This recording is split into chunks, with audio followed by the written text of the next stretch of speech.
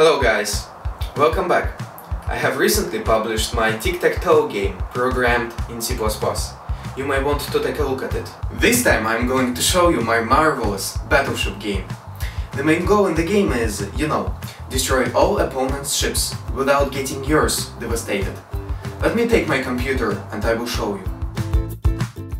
I got a little main menu here.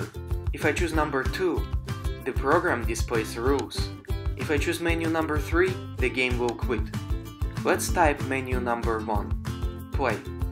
Of course, before playing, I have to set ships on positions. That is what I am going to do.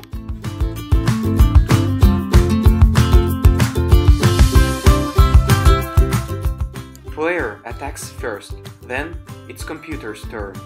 Boat that was hit displays as number 2. The computer didn't hit me as you see. Only ones are displayed.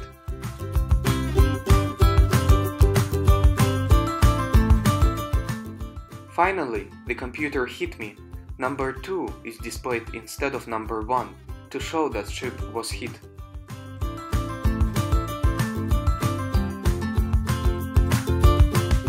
Let's suppose that I'm bored and I do not want to play any longer.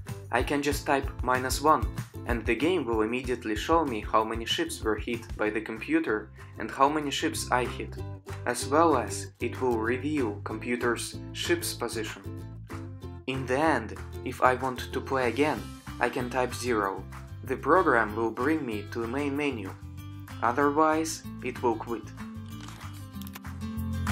Next time I will show you my Snake. It is a graphical game, an application that you will be able to download and play with your friends. Yes guys, that's it. Do not forget to like the video if you liked it, subscribe or check some of my other videos.